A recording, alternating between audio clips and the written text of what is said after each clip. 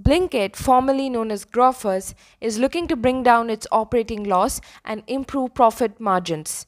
As a result, it will now offer printing services. Pricing policy is as follows.